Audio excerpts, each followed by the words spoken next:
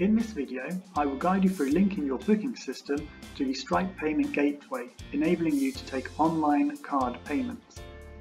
To link your system to Stripe, click on the arrow in the top right and select Billing. Click on the Connect with Stripe button, which will take you through to their sign up form. If you do not already have a Stripe account, you can use the form below to enter your company and bank details in order to sign up for an account. However, if you already have a Stripe account, simply click on the sign in uh, link in the top and enter your, your login details.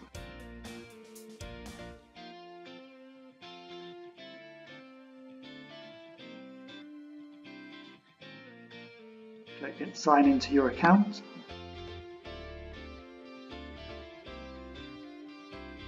select Connect My Stripe Account button.